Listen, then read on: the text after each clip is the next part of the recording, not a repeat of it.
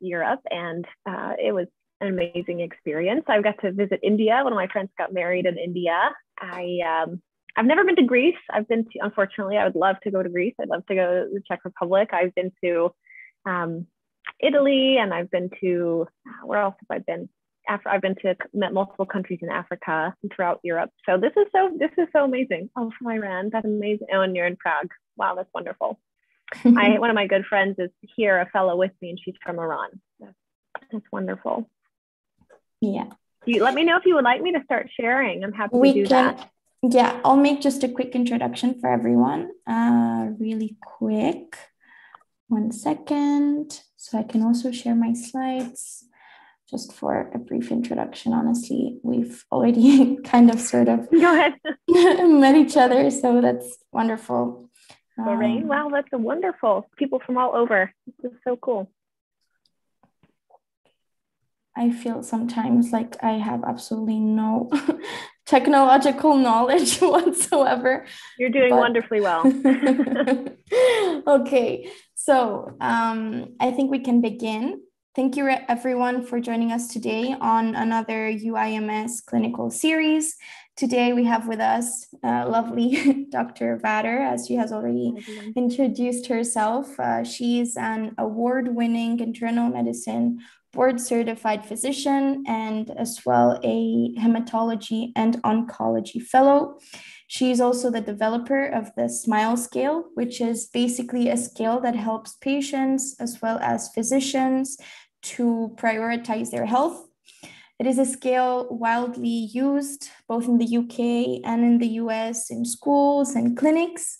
And today she's here with us to discuss about the importance of compassion and social determinants of health, as well as social justice and humanism uh, in medicine. We are more than honored to have you today. Thank you so much for giving us your time. We are uh, very excited to hear what you have to tell us. And without further ado, I think we can we can begin. I will stop sharing my screen so you can go ahead and share yours. And thank you so much for giving us your time.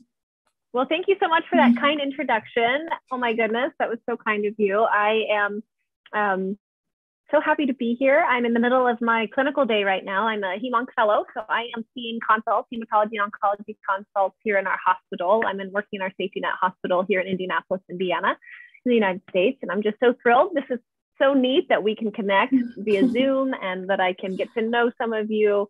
And that is just wonderful. I'm going to have the chat box pulled up over here in my screen that you won't be able to see, but know that I'm looking at it. And if there's questions that come up at any time, I'm happy to really have this be a useful conversation for you, however that looks. And so you can stop me at any time and we can just chat.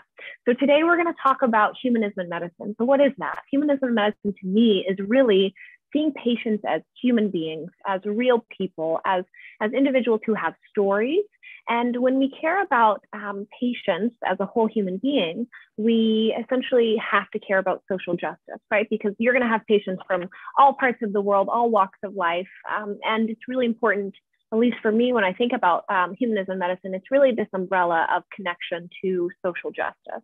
And so I'm going to share with you a few things that I've learned in my own training. So I've been through undergrad and medical school and residency training. I'm now in my three year fellowship um, to become a subspecialist. And I know our training systems look different, but really at the end of the day, we are here because we want to take care of people and we want to do a good job doing that. And we want it to be meaningful for us and we want to have high quality lives too as we do this work. So we're going to talk about all those things today. So don't, has, have you, has this come across yet in your training? But we know that empathy actually declines as you go throughout training. So you start out, you're really, this group of people in this room, you're highly intelligent, highly altruistic, you care about human beings. You're going into this work because you want to, right, take care of people. And unfortunately, we've learned that it, empathy actually gets trained out of us that when you start medical school, you have a higher level of empathy than when you graduate. And as you go throughout training, that empathy can actually decline. And I felt this in myself. I felt this in my own residency training where, you know, I felt that I just wasn't uh, being the doctor, showing the compassion that I wanted to, because you're going to see a ton of patients in your time. You're going to see a thou- you're going to witness thousands of doctors taking care of patients, right? And there's no doubt that um, this is a uh, this is a an apprenticeship profession, right? We learn to be doctors by watching other doctors, And so I'm going to compile for you everything that I have found to try to bring back empathy in my own life and to show compassion to my patients. So, and we've had how many lectures have we had? Hundreds of lectures where they're like throwing up images of bloody things and all sorts of grossness. I want this this lecture. I put a whole bunch of beautiful images up here just because I think we it helps us all just to see nature and to be uh, to encounter a bit of peace as part of our day too. So let's talk about the compassion crisis. There's a great book called Compassionomics. It's a phenomenal book. It essentially goes through all the research about compassion. And really, the summary of this book is this. So, at least half of patients in the United States, and I bet this is true around the world, but half of patients believe that physicians are just not compassionate. Um, more than half of physicians actually say, you know what, I just don't have time to be compassionate. That's just not, I just don't have time for that in my day. I'm seeing too many patients in clinic and I just don't have time for that. And I feel that, right? I see yesterday in clinic, I saw um, 10 patients within three hours, and they were, some of them had brand new diagnosis of cancer. Some of them were follow up visits. Many of them did not speak English as their first language. And so we're dealing with translators and using a electronic MARTTI to try to try to um, translate. And so there's all sorts of barriers to uh, that we feel. So How do we actually show compassion? And then we as physicians, uh, we miss more than two thirds, about 70% of those opportunities to show compassion. This means, you know, you are, see if you see a patient in front of you who is in distress and maybe you, some of you, have you rotated through the hospitals yet? You can put in the chat, you know, where are you? Have you, are you seeing patients in the hospitals? Are you witnessing other doctors? Have you had clinical experiences? You can say, uh, if, if that's true for you, you can put that in the chat box. But when I was a medical student, so at least here in the United States, it's this hierarchy. So it's this kind of where you're a medical student and then you have a resident and you have a higher level resident, you have a fellow, then you have your attending. So at least here in the United States, there's, there's this culture of, you know, different structures of power. Is that true where you are as well? Where you've kind of got, um, so some of you are seeing patients at least a few times a month. And um, you have, I see some of you nodding your heads that yes, you kind of have this structure of power. And at least here, you're attending, which is like our, the, the doctor who's finished with their training, they kind of lead the show. They are the ones who kind of come in the room and talk. And if you see a patient that's in distress uh, and you're attending, your, your leader, the leader of the team, doesn't immediately show compassion to that person, whether that's through putting a hand on the shoulder or offering a tissue or pausing to acknowledge the emotion or just providing support, then you know we're witnessing that. We're witnessing a ton of moments where patients are in distress, but there's no action given. And that's kind of a normal thing that I see in my day, not because those doctors are bad people, just because, right, they're trying to get, they're trying to say what they need to say, and they're, they're sometimes in their own heads. They may not always pay attention and see what's going on around them. And so we see all these opportunities to show compassion that are just missed. And I've seen this so many times. I've missed so many opportunities to show compassion. And so I'm trying to figure out how can I put this back into my life? We also we also know that compassion you know you might ask yourself well it's, it's a nice idea. It's a nice idea to show patients that we care about them but does it actually matter? And there's some good science behind this. So when doctors show compassion we're actually more likely to get the diagnosis right. This is typically because we are listening a bit better. We are connecting with our patients. We know them a bit more as people. So we're actually more likely to get the diagnosis right. Because of this we need fewer diagnostic tests um, fewer referrals to specialists and um, this is actually very helpful to the patients and to us because it reduces the cost. Here in the United States, we have astronomical medical costs. We have lots of kind of unnecessary tests and referrals. So we're less likely to do those things. We're less likely to make medical errors. And because of that, there's fewer malpractice claims. Is malpractice a big thing where you are as well? I'm sure I think around the world it is, right? These are people's lives at stake that we're taking care of. And so um, you know, it's important that we get things right and, and showing compassion can help with that. And, and for all of those reasons, it can decrease our healthcare costs. And then when doctors show compassion, we actually know that patients are more likely to take their medicines. Patients that have HIV are more likely to adhere to those, um, those antiretrovirals if they feel like their doctor actually cares about them. Uh, we know it can actually decrease patient anxiety and it can reduce PTSD in the ICU. Have any of you rotated through the ICU yet? You've seen patients with breathing tubes. They have, you know, this morning. So I have a patient right now who's in the ICU. She, yesterday, she was intubated. So she's got a breathing tube now. She's got a central line in her neck. She's got dialysis running. She's got medicines to sedate her um, that are dripping into her veins. She's on strong antibiotics. She's on a medicine called a pressor. As you've learned about pressors, kind of squeeze your blood pressure, right? Vasopressin and norepinephrine and epinephrine, and we have a whole host of them. And there's a ton of stuff going on around her. And um, it can be very traumatic to be in the ICU. Some of you might have actually been patients in the ICU yourself. And it's a, it's a very traumatic experience and it can lead to post-traumatic stress disorder because of that. You're getting poked and you don't know what's going on. Sometimes procedures are happening and you don't understand. Sometimes there's, right, there's even code. So code blue where they're compressing their chest and all sorts of things. And so when we actually go in a room and we, we assume that the patient hears us when they're in the ICU, when we talk to them like a person, we explain to them what, what we're doing, that actually can reduce the trauma they experience from being in the hospital. We know that patients who are diabetic, they have better blood glucose control. They're more likely to actually check their blood glucose and to take their medicines if they feel like they've connected with their doctor and they have someone who cares about them. And then they even found in one study a shorter duration of a common cold. So I just want to highlight to you that these findings are not insignificant. This really is important. And you're medical students now, and you may feel, okay, well, I'm part of this team. Maybe you don't feel valued. Maybe you're maybe you're kind of you're shadowing and you're you're going along and you're learning and that's valuable, but you might actually say, you know, what am I doing that's valuable to the team? And um, I think showing compassion to your patients in the here and now, from the very moment that you interact with another person, showing them that you care about them, being intentional about that, it can have real benefits for their medical care. And so remember that as you're going through that, whatever level you are, doesn't matter. Compassion matters to your patients. We also know that it helps us too. So compassion buffers the effect of stress. I know that when I'm running, rushing through my day and seeing a ton of people, and yesterday happened to be a very busy day. I was in clinic and then I was seeing a whole bunch of patients in the hospital. And it's so easy to just feel like, wow, this is just, I'm just checking the boxes. I've got to write these notes and I've got to see these people and I've got to get the work done.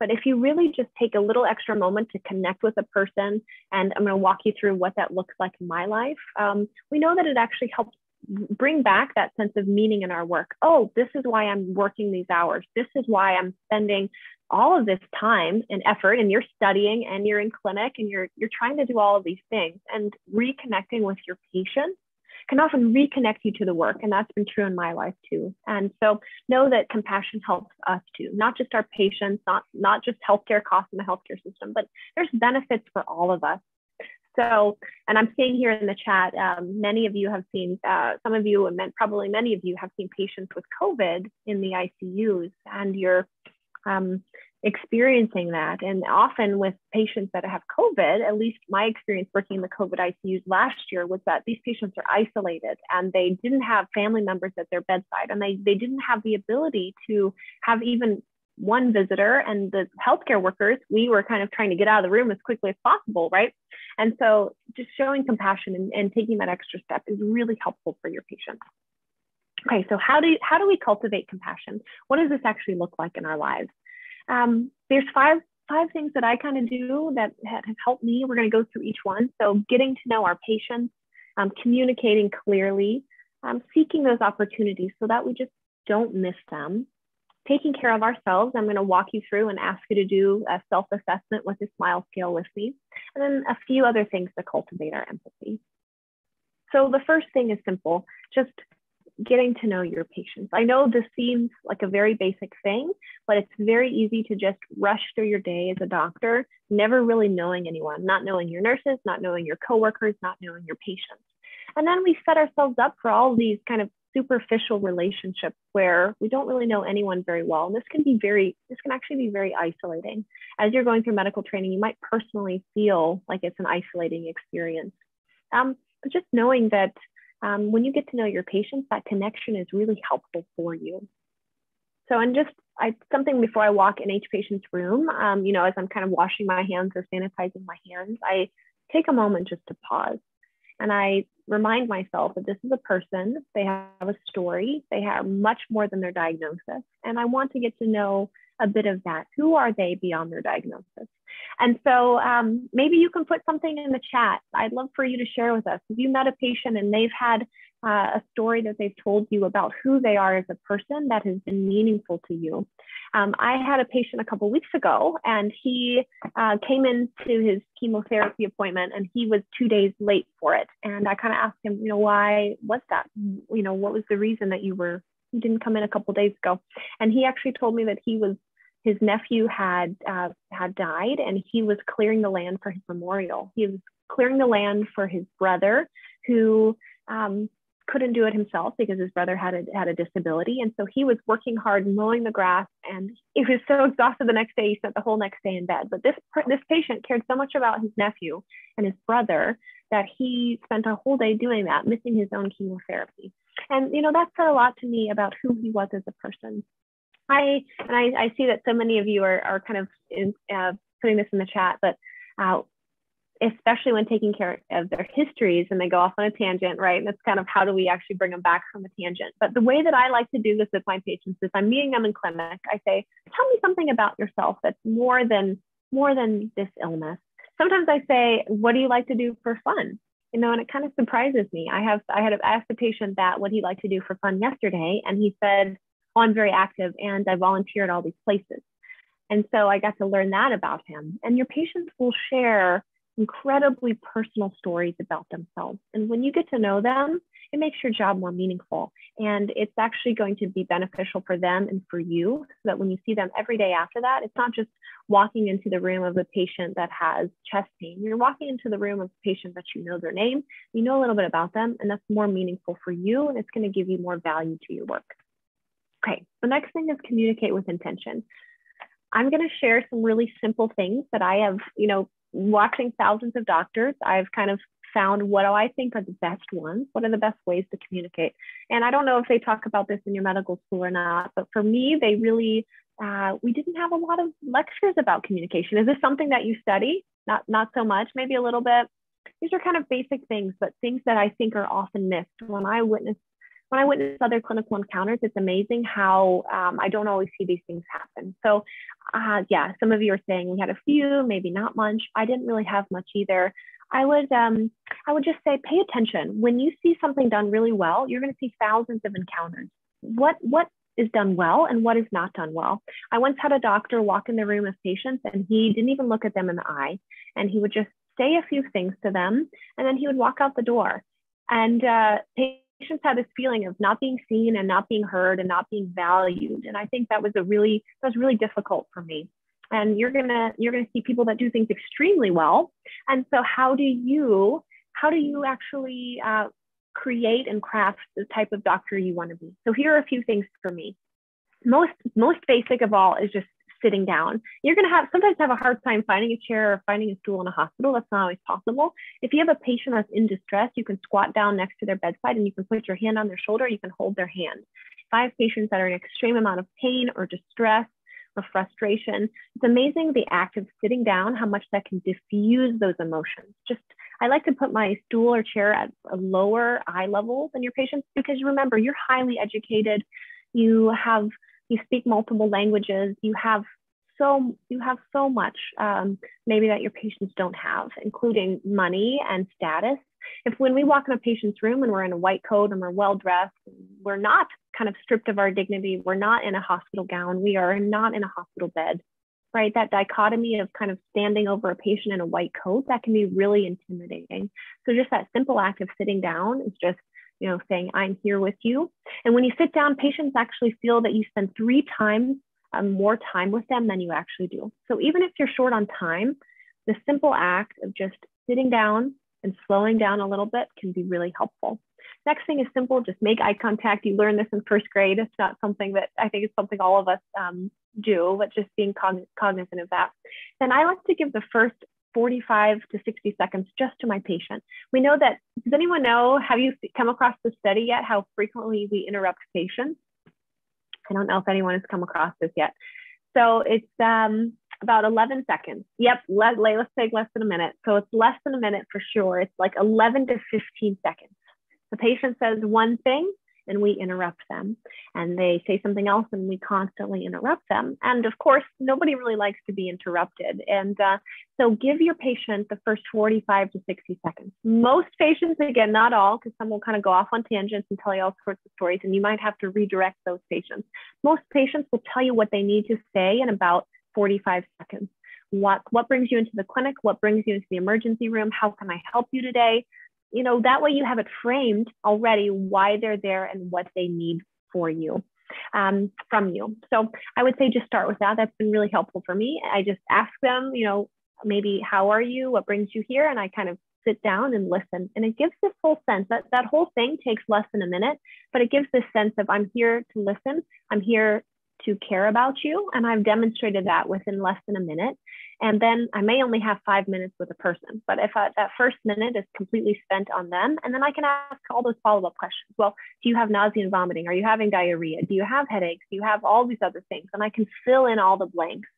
And I think that that helps our patients to feel heard and to know that we're not just rushing through the day. Um, of course, to show you with your significant other, right? How do you show a person you're listening? You're looking at them, you're nodding your head, you're asking follow-up questions. You're not, they're not having to repeat themselves a hundred times because you've listened. And that's that's a valuable skill to not be distracted for the period of time you're with a patient. A really, really hard thing, really hard thing because we're constantly interrupted, but it's an important thing to try to not interrupt as much as possible. And then just using simple terms, right? So you are you are learning another language to be able to speak with your patients in the hospital. I mean, that's incredible. That's so difficult that you are right? You're trying to communicate with your patients, and certainly there's going to be communication barriers there. But the more that you can translate your the words you know from your English education into uh, right, you're learning other languages to communicate with your patients. Try to find simple ways to communicate that, and that's going to help your patients. And right, so if my patient is has pain, in their liver and it's because their liver capsule is expanding because of a tumor in their liver and they've got back pain because of the compression fracture from their cancer and they have brain metastases that's causing visual changes and all sorts of things. It'd be some doctors will say oh well your hepatic capsule is enlarging and it's causing right? And um, or your your your your T2 spinal fracture right? And and um, I had a really good doctor once that said to me you know we don't need any of that. Just say it's the cancer. The pain you're feeling here it's the cancer the pain in your back, it's the cancer, right? The more that you can take complex things and make them simple for your patients, my goodness, that is going to be a gift to them. It's a gift to their families because patients will not feel like they can ask you questions sometimes. They might, they don't want to feel stupid. They don't want to feel, right? They don't want to feel that they're not um, smart enough. So they might not ask you to clarify when they don't understand. And then just simply acknowledge how someone feels, right? You know, there will be times and many times where your patients are going to be yelling at you they're going to be standing over you and they're going to be upset about something, or they're going to dismiss you, or they're going to be frustrated, or they're going to be crying. They're going to express, right? Having an illness is awful, right? And we're helping patients navigate their illnesses as they go through their lives. And we're, we're witnesses to that and we're guides. We help guide them along this path of having illness trying to get them better, trying to help them feel better. But there's all sorts of emotions they're going to feel along the way, and that's normal. So simply acknowledging how a person feels, you know, saying, you know, I know this is really frustrating. Um, it's normal to feel angry about this. Uh, you know, and just that just diffuses the anger right away. So if I'm sitting down and a patient is standing over me yelling at me, right? Okay, so first of all, you don't ever you if you feel unsafe, you get out of the room if you know patients should not be disrespecting you. But if they're you know if they're just upset about a diagnosis um, it's easy to to just diffuse that anger by saying that emotion out loud and keeping your voice calm and just being present in that moment if you feel safe um, and then just be respectful out, outside of the room. Know that patients can hear you right outside of the room. Um, especially this is very this we've had at my hospital we have a lot of uh, transgender patients. And I think some of our attendings are still trying to figure out how to use pronouns respectfully and um, terms. And, and, and um, this is true for our transgender patients, but for every patient, right? How we speak about a patient in the room should be the same way we speak about them outside the room. So just being respectful of their dignity and who they are as a human being. And I'm just going to uh, touch base in the chat here. So I see one good tip we are recommended is starting a conversation about something at the patient's bedside table. For example, oh, that's a, who is this here in this photo? Uh, this is your grandchild. That's a great idea. I love that. And I think that really helps them, you to see the person as a whole human being. And, and uh, when you are on, if you're doing any telehealth chatting or you're doing virtual visits, the cool thing about that is you're not seeing the patient removed in their, um, they're not in the hospital, they're in their own home. And so you get to see their families kind of running around often. You're going to see people coming in and out of the window of, of the view you're seeing. You're going to see just the environment in which they, they live and work. And that's really incredible. So uh, those are some of the opportunities. Uh, those were some of the, tips that I had found. And then finding opportunities to show compassion. As I mentioned, we miss a ton of opportunities to show compassion. They happen and we miss them, and they happen again and we miss them. So just pay attention. The simple act of just paying attention that is so valuable. If you're if you're uh, in the hospital and you are paying attention, right, you're going to be such a gift to your patients. And and don't fault yourself if you're in your residency and you're in your fellowship. And right, it's often my medical students now who are on my medical team who see things that I don't see because I can't see them in the same way. I try to, I try to bring that back, and I try to wow, okay, that person is really having a lot of pain, right? But it's often my medical students who who perceive things um, and then also, if you're the one kind of cognitively thinking through things and talking, know that you're going to miss things. And there's going to be members of your team that might be paying attention. So I was in a pancreatic cancer clinic a couple months ago, and there was a man that was newly diagnosed metastatic pancreatic cancer, which carried this awful, awful prognosis. And we were, my, my attending and I, he was talking about the risks and benefits of chemotherapy.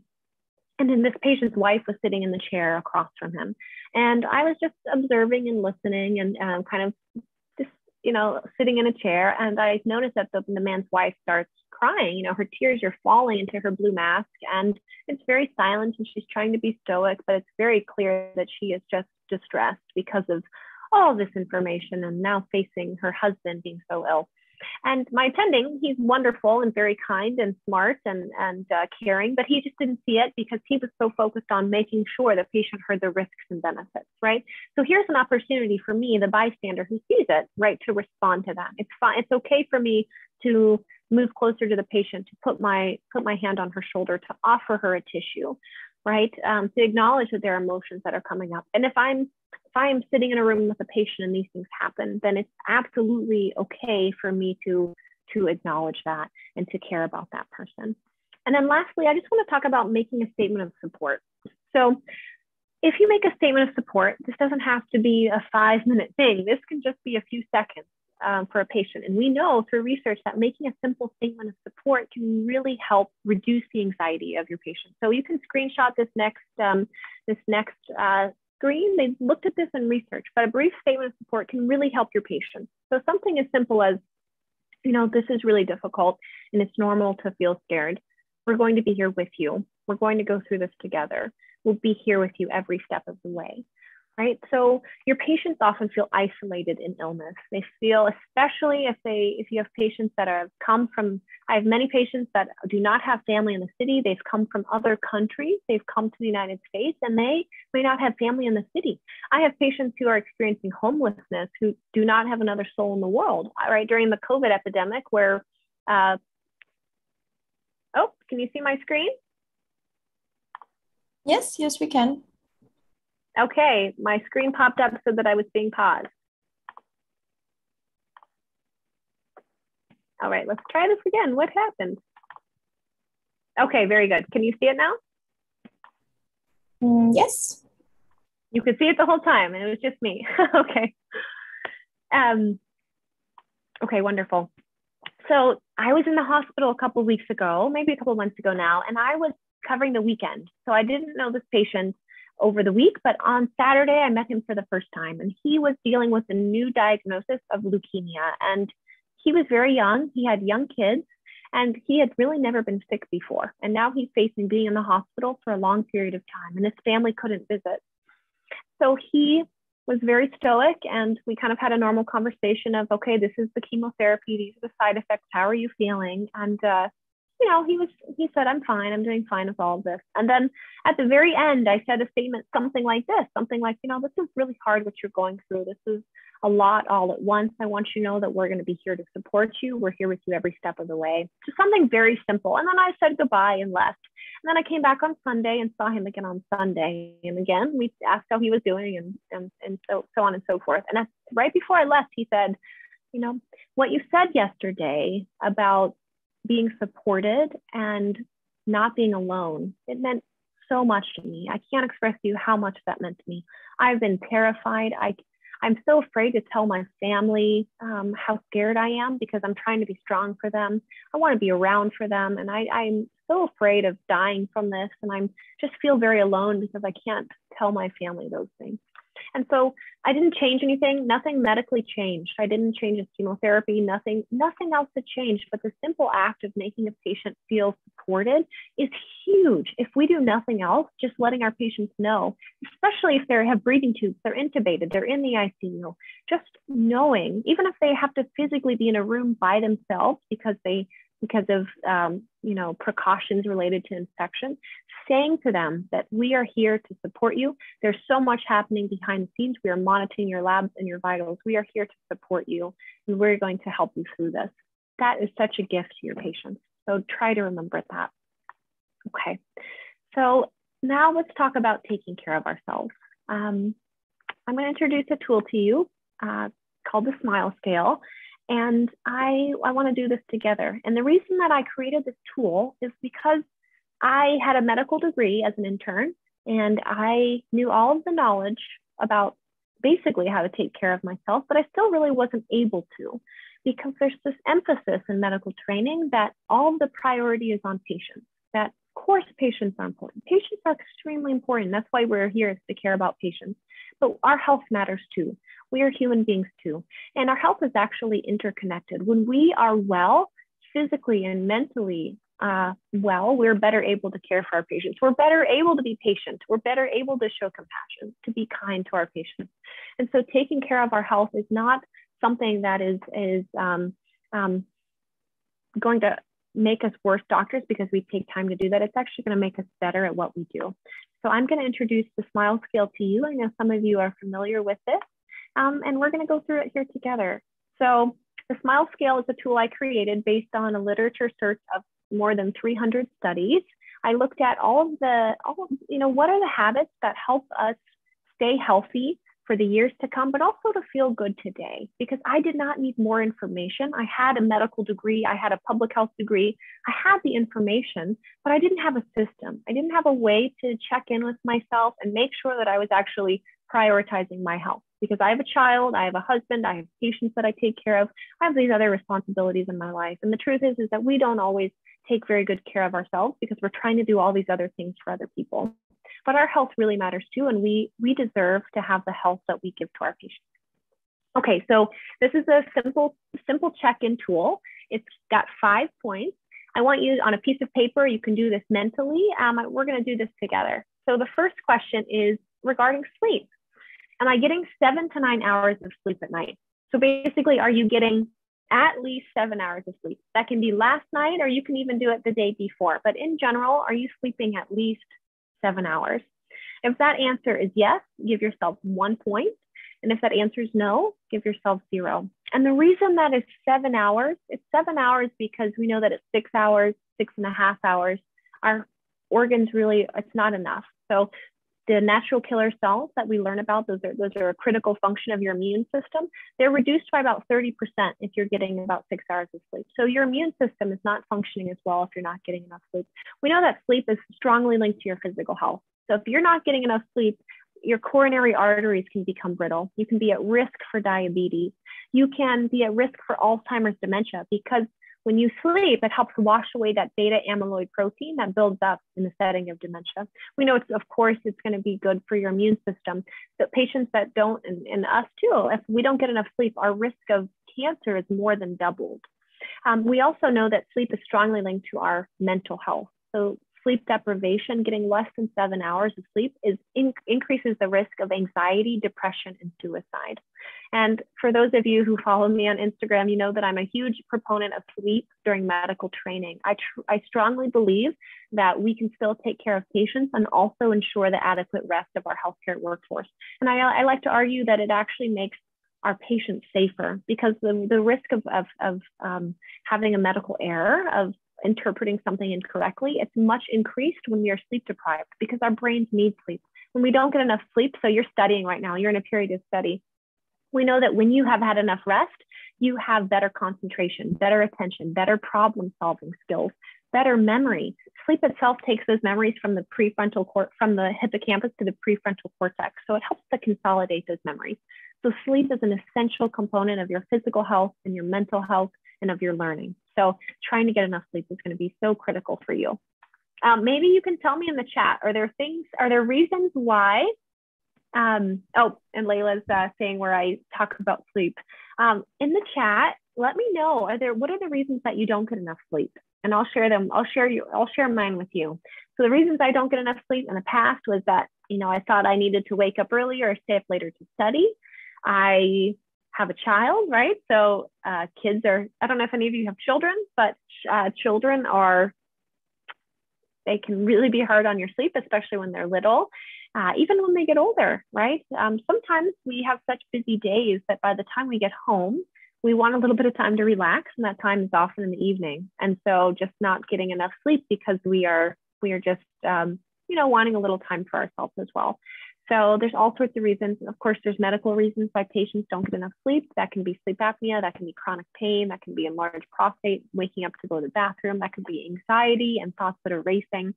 I'm seeing things, some things in the chat. So just having a lot of things to do, um, being energetic during that time, being on my phone, right? So there's all that, the screen time that can uh, artificially change our production of melatonin and our, our sleep wake cycle. Um, worrying about enough sleep. I'm seeing someone say that worrying about enough sleep prevents me from getting enough sleep. Yes, for me too. So I, especially before my big test, right? I don't know if any of this, this happens to you, but I, before my big board exam, you're, you're, you go trying to go to bed early or at least on time. And then you're thinking the whole night of like, oh my gosh, is my alarm going to come on? Am I going to fail this test? How am I going to do? And the truth is, is that you're going to perform well because you've prepared but you're worried, right? There's that worry, and then you can't fall asleep, and then it's that frustration of not being able to fall asleep, and it just becomes this cycle. Uh, worrying about the to-do list, right? There's all sorts of reasons why why we don't get enough sleep. Okay, so let's let's talk through this together. What might be ways that you can do one thing to get a little bit better sleep? I'm going to walk you through some things. So being consistent, going to sleep at the same time each night and waking up the same time each morning as much as possible, that's going to anchor your sleep. That's going to help you to, your body, it's going to be predictable for your body. Your quality of sleep is going to be better. Your quantity of sleep is going to probably be better. Know that your bedroom should be like a cave. It should be dark, quiet, and cool. Ideally less than, you know, I don't know what this is in Celsius, but uh, 68 degrees Fahrenheit. So your, your, your bedroom should be cool, like a cave. Try to keep electronics out of your bedroom as much as possible. Try not to look at that bright screen right before you go to bed. Maybe read a, a hard copy of a book. That's one of my favorite ways. Now I'm reading books to my daughter, and that's kind of our bedtime routine. But reading a, a book at night, even just for five or 10 minutes, can be a great way to um, relax. So trying to think, is there one thing that you could do to kind of clean up your sleep? Um, because you're going to, um, we know that the shorter your sleep, the shorter your life. So sleep really predicts, predicts your predicts your longevity, and it really helps you feel good in the here and now. So the better sleep you can get, the better, the more health you're going to have. You're going to be a better learner. So try to try to get enough sleep as much as you can. Okay, so the next one here is move my body. Have I been physically active for 30 minutes or more? And this doesn't have to mean that you're running a marathon or doing anything crazy. Um, but just check in with yourself. Are you regularly getting physical activity? And I think this is probably the hardest one for most of us because it takes time and uh, we don't always feel like we have time, right? And for me, I know that this is the one, if I'm going to not hit this, if I'm not going to hit one of these things each day, it's probably going to be the exercise because I try my best to be to, to exercise, but I, I kind of have to play it by ear. So sometimes I just set a timer on my phone in the morning and I do maybe 10 minutes of yoga in the morning. It's nothing crazy, but I do something. And then I take the stairs as much as possible in the hospital. I'm walking throughout the hospital and trying to get my physical activity. Um, I, again, I don't know if any of you have have children, but I try to be creative about this. So I have dance parties with my daughter. Sometimes we do um, um, Cosmic Kids Yoga, which is like this cool like kid scene of yoga, and it can be really fun. We go outside and play soccer. we like to run around, we go for walks.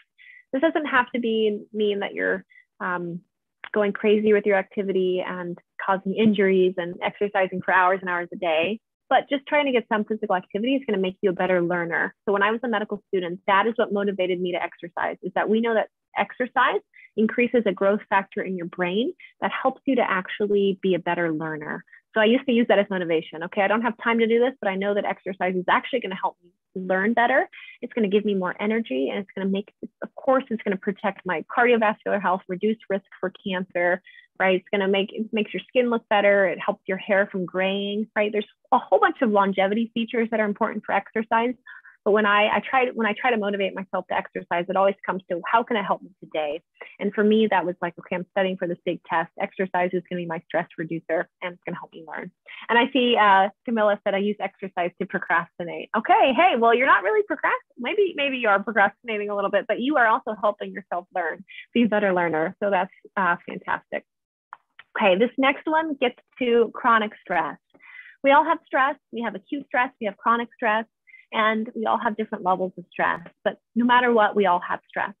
And um, there's all sorts of unhealthy ways that our patients are going to cope with stress that we, right, maybe smoking or vaping or drinking alcohol or, right, um, there's all sorts of unhealthy ways that, that we as a human race have learned to cope with stress. So finding a, a, technique to cope with your stress in a healthy way is really valuable. So ask yourself, you know, just take a moment to reflect. Am I regularly using healthy ways to reduce my stress? Maybe that's meditation. Maybe that's deep breathing. Maybe that's journaling. Maybe that's a form of prayer, depending on your faith. Maybe that is um, simply walking in nature. What are those things for you that help reduce your stress in a healthy way? So I came to meditation when I was a medical student, when I had had my my daughter was eight or nine months old, and I was a huge I was a huge skeptic. You can put in your uh, you can put in your chat box. You know, do any of you meditate? Are you skeptic about? Are you skeptical about it? How do you feel about it? Right? It's one of those things we know that the stressors of a medical life, I'm not going to say to you, oh, well, just meditate and all your stress is going to go away. That's not practical or realistic, right? Reducing the burden of work for tr- doctors in training is the way to do that. But know that having some type of healthy tip, healthy technique to train your mind is really helpful. Uh, I see, I'm seeing someone say, haven't figured out how to meditate properly. Well, there's no right or wrong, wrong way to do it. That's the good thing. Um, meditation is really training your mind. Like you would train your body to run a race or do some type of activity or learn a dance. You're training your mind. And that's what meditation is. So every day we have tons of thoughts and emotions coming into our mind. Oh, I suck at doing this. Oh, I'm going to fail this test. Oh, I, whatever, I'm distracted by this thing. You have all these thoughts and feelings that come into your mind throughout the day. And it's a really powerful tool to be able to see them come into your mind and to be able to label them. Say, oh, that was a thought, that was a feeling, that was a thought, that was a feeling. And you don't have to respond to them. If you're starting to have all this negative self-talk right before an exam, right, you can, if you if you're training your mind in a healthy way to be able to acknowledge and to recognize, okay, I just had a very um, unhealthy thought I just had about myself, and I don't have to respond to it. It's a very powerful tool to not allow your emotions and the thoughts that you have to spiral downhill. Um, and like I see here in the chat, trying to meditate when you can't fall asleep is a hugely important thing. That helps me too, because if you can train your train your mind to not respond to all those anxious thoughts that you're feeling, it can be huge. I know for me, when I so you're in training and you're going to get to a point where you are taking care of critically ill people. Even if that's not what you're going to do for the rest of your life, you're going to be at a point where you're going to be the doctor in the hospital that you have to put a breathing tube down a person's trachea. You have to put a central line in their jugular in their neck or a femoral vein in there. And they're going to be very ill. They're right when they need these things, they're very ill. You might have you're going to be running a code, you might be performing CPR yourself, or you're the one that's deciding when to give epinephrine and when to, to pause. And does this does this person have a shockable rhythm so that we can resuscitate them? And that's a really, really stressful situation. I've been in that situation so many times as a physician, and I'm standing, it often goes like this you're standing at the head of the bed, and I see you're holding your hands like that. I love that.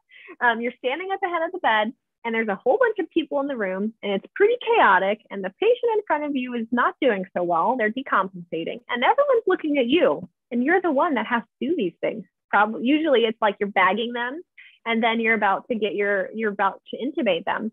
And you're seeing their heart racing and your heart's racing and you're seeing their breathe you're seeing their oxygen level and you have to perform right? You have to already perform at a high level to take these exams you're doing as you go through your training, you have to perform in a different way. If you're going to be, if you're going to become a surgeon, no matter even if you're a surgeon or not, you're going to be doing some type of procedures in your training. Right now, I do bone marrow biopsies and things. All right, I'm not doing the things I used to have to do, but to be able to reset your physiology, to be able to take yourself through a breathing technique that calms you down, to be able to do a brief meditation that's one minute or 30 seconds that just helps you to just okay, all this is coming at me and I don't have to respond to it.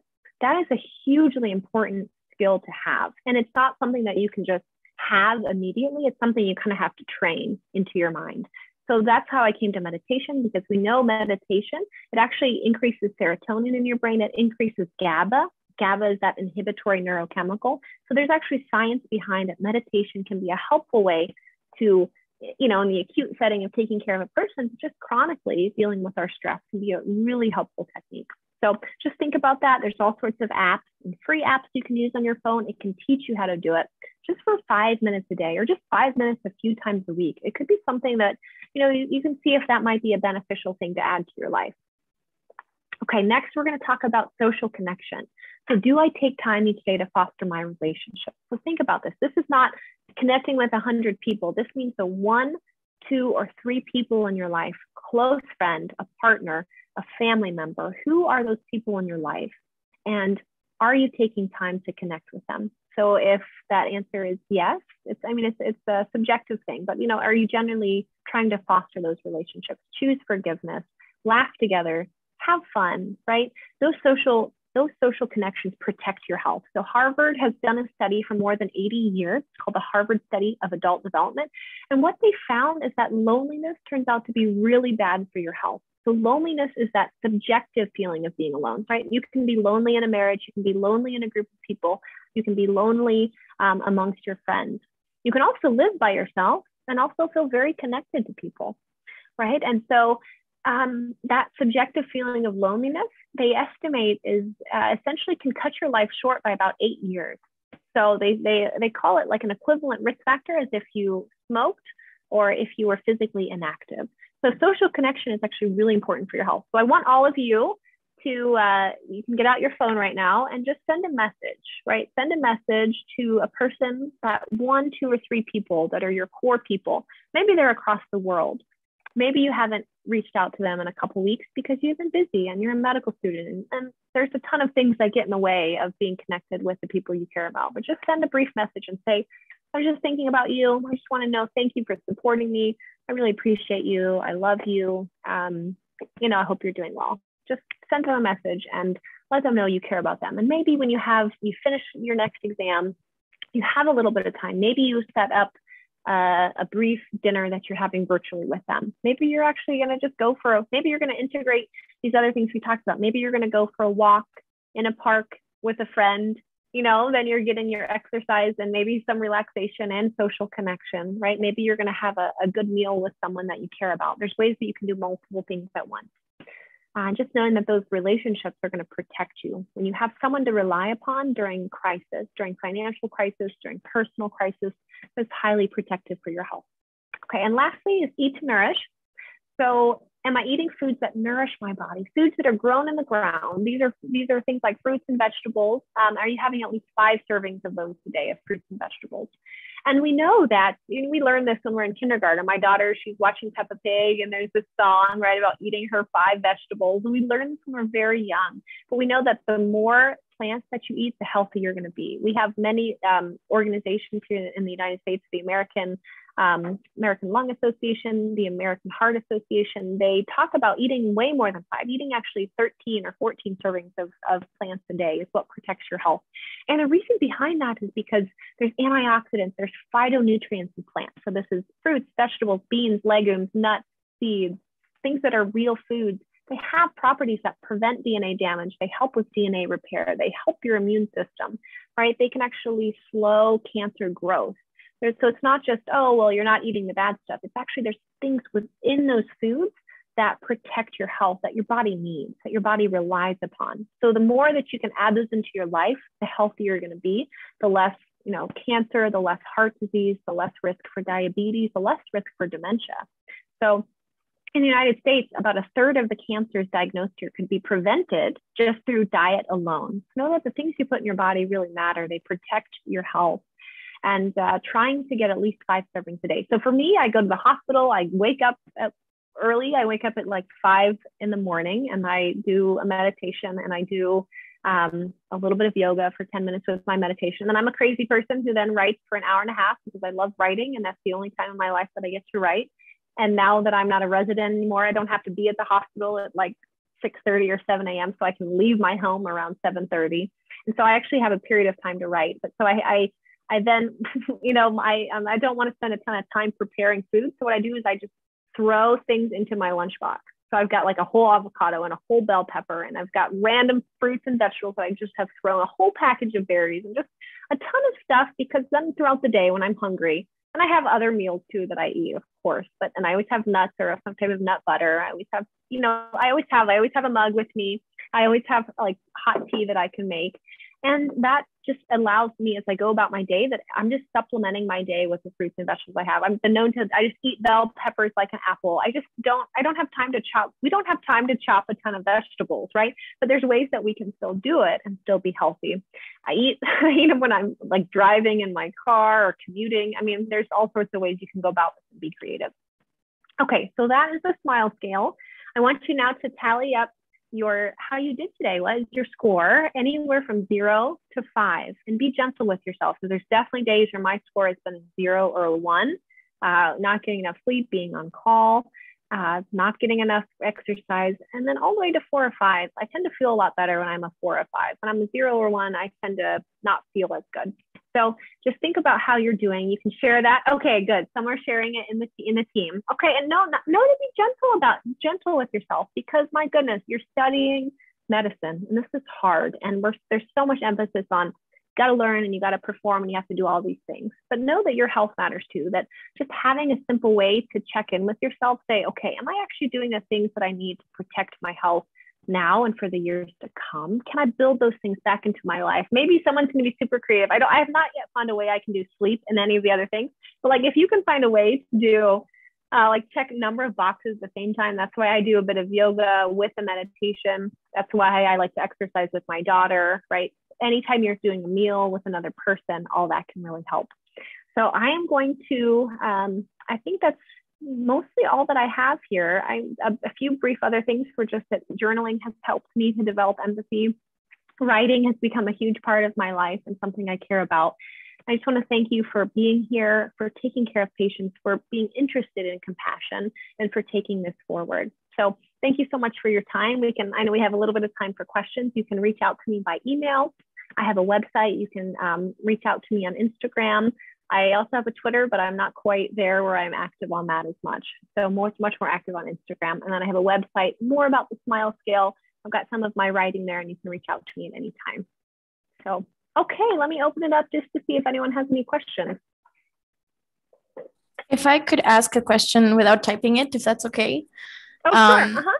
Uh, in your hospital or in your, let's say, latest years of residency and fellowship, how has your yeah your hospital you have been working at uh, tried to let's say better or give the doctors tools to increase this substantially or or the empathy we have seen to decrease as times go by, goes by. Like what um, efforts has the hospital put in to kind of combat that if they have at all yeah, I think most hospitals, most doctors don't realize that this is an issue. I don't think they realize that empathy gets trained out of doctors. The emphasis is absolutely on doing the work, and there's not as much emphasis on how that work is done. I think in general, we all feel sure compassion is great, but I, I believe there's not there's not enough emphasis on this. Um, uh, you'll see doctors that do this really well and they do it really well in an efficient way. And when you see that, pay attention and just understand that there's a lot of people that are doing it well. But in terms of like a concerted we've seen that. Um, I think a lot of us care about this and just talking about it, having the conversation. If if one of you in this talk does one thing different or shows a statement of support to a person, right, or just one simple thing, like that's a huge that's a huge success. Um, and I just want to say that anything you do to show kindness to your patients, if that's that's there's always it's always a good thing to do. Um, if you feel like i'm standing in this group and no one else is doing it be the one to do it because that's the doc that's how i approach it because that's the doctor that i want to be. And so uh, i see another really good question here about um, compassion fatigue um, so compassion fatigue is something you're going to experience. I've experienced it over and over and over. I typically experience it when I am on, been awake for 30 hours or so straight, and I'm working in really with really sick patients. And so I remember as a resident, I would be awake. It'd be like on my 28th hour, my last hour of call, and um, I would be called for another two or three admissions in the ICU, and from the emergency room coming up to the ICU. And sometimes you'd have patients that were so sick and they would be on multiple medicines and you would just there'd be part of you that would just say oh my goodness um, you know my life would be a lot easier if this patient did not survive the night. And you know there's going to be parts of you there's not a doctor that i know that has not felt that way. When you are forced to when you are sleep deprived because of your profession and when you are faced with taking care of many many many patients high volume of patients and your your own ability like your body's most critical need is for rest know that you are going to have thoughts that are going to be compassion fatigue. Some of that is because of the work and the volume of the work and sleep deprivation but know that we all experience that. We all know that who we are when we're sleep deprived is not always the same person we are when we're rested. So be an advocate for sleep, be an advocate for your peers, and be an advocate for compassion. And to me, all those things are interconnected because when I am well, I'm better able to take care of my patients, right? And we're still going to go through the work. We're going to go through the motions, whether we feel whether we feel it or not, whether we have compassion fatigue or not. We're still going to do the work. But I think um, it's not fair to us to ask us to do the work when we're not the people that we are. Things that help me with compassion fatigue are learning who my patients are as people so I have a patient that's that you know uh, is really really ill, and it's going to require another two, three, four hours of work. Getting to know simple things about them as a person, getting to know their family a little bit, those can all help you. That can help you with your compassion fatigue, um, and then the simple act of having time away from the hospital to restore, to sleep, to restore your health. Those for me are hugely important to kind of restore who I am. And then reconnect with why you go into medicine. So, so often you're going to rush through your days because you're going to have so much to do. But if you can pause and just reconnect with why am I doing this? Um, these patients are people that I care about. I want to help them navigate this, this illness and I want to be there for them.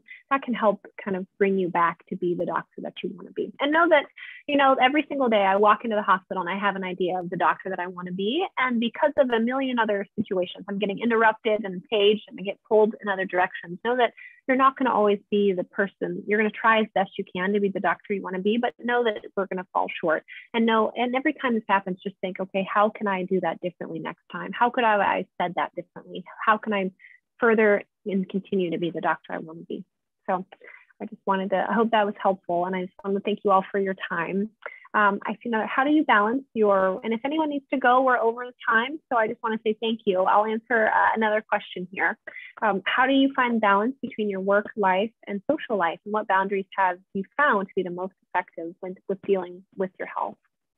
That's a really hard one, right? You're going through medical training and you have very little control right? Medical training is often this feeling, well, I have these exams, I have all this material to learn. You start residency, you have these hours that you must work to, to learn, right? We, we need to learn to be good doctors.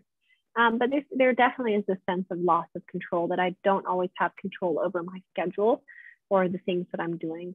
And uh, I think that the if you can create some healthy boundaries, I think that's really important. If I'm off for the weekend and I have the family, the, the weekend with my family, then I try not to schedule anything in. I have a lot of opportunities to schedule things in. Um, of course, things like talks or um, research or all sorts of other things. And sometimes you have to do those things. But as much as possible, I try not to schedule things in the evenings when I'm going to be with my family or having time to take care of my health or on the weekend. Um, so that's why this worked out perfectly that I could talk with you during the middle of the day where I, you know, had a break in my time. And I, I think the other things too are, can you, um, if someone is, you know, if you have the ability, right? So if you're experiencing sleep deprivation or that you don't have time to be physically active, can you advocate for yourself? Can you advocate for your peers? I think this has been a huge part of my training that I went to a residency program that was very, very receptive to feedback. They cared about our uh, opinions. We had this ability to anonymously evaluate things. I think you should always have the ability to anonymously evaluate something, whether that's a person you've worked with, because there's a lot of sexual harassment in medical training, there can be. You should have an avenue to be able to report that in a safe way. If you're experiencing some type of bullying or abuse, you should have an avenue to be able to report that and to feel safe reporting that. The same is true with our health. So if you feel like you're going through an experience in your training where you um, are just being extremely sleep deprived and it's not appropriate. It's definitely not appropriate in my opinion for medical students to be sleep deprived or residents. We can, there's ways that we can get around this that we can still take care of patients without having to um, make our trainees be sleep deprived. So talk about it. Say, I don't think this rotation works. Why don't we set it up this way? Why don't we adopt a night float system? have we thought about this instead? So try as much as possible to be an advocate. And you may not feel that you have the professional security to do that, earlier on in your training but as you progress through your training if you feel that like for me i had i knew my my i had good relationships with my chief residents and my program leadership. And so having these conversations we have done away with almost all of our 28 hour calls at our residency program because we felt it just wasn't a healthy it wasn't a healthy um, recipe for us. And so know that change can happen but it's um, try to advocate as much as you can and also know that this burden shouldn't be on you. This burden and do all the hard, all the heavy lifting.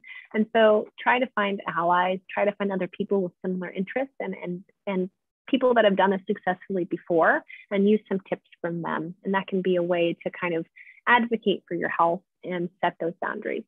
And you have that as well in your university. I see that. So I, I think that's a way to anonymously evaluate. That's really important. If um, if something is happening around you, if someone is being bullied, if there's you're, you're witnessing discrimination, uh, if you are experiencing any type of harassment, you know that you know your career is important, of course, but that you are a human being and you deserve to have health and you deserve to be respected.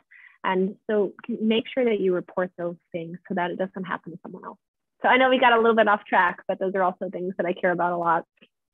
So I just want to say thank you again for your time, for being here. Your time is very valuable. Thank you for thank spending you so some of it with me. Yeah. Okay. Wonderful. I hope you have a good rest of your day and reach out to me anytime. Thank you so much. Um, before, thank you so much for the rest of the people. Uh, if I can just share really quick uh, one more thing. It's just to let everyone know about the next few lectures that we have planned. Um, you can see we have two more events going on in May our workshop uh, for cultivating well-being during exams with uh, Mrs. Taslim. And then we have our big last event, which will be the Battle of the Specialties, uh, something you should really uh, wait more, wait for more information on, on our social media. It's um, we're very excited for this particular event. Uh, it will be basically a talk with multiple doctors uh, explaining their specialties and basically will be kind of like a mini rap battle without the rapping part on the winning specialty on which specialty uh, is the best. Um, here you can see our banner but thank you so much everyone for coming. Uh, thank you so much dr laura. It was amazing. I really really enjoyed your talk. It was quite different to what we have had until now so it's it's great to experience and uh, be able to discuss more topics than just let's say pathologies or other diseases. And yes thank you so much for your time I've left the link for our feedback form in the chat below. Uh, feel free to give us your feedback. We would love to hear it. And to whoever feel, fills in the um, form, they will also receive an attendance certificate. But yeah, other than that, I wish you a lovely weekend to rest well and um, have a great day. Have a great rest of the day. That's it for me. Thank you so much, everyone. Thank you so much. Have a good weekend. Bye.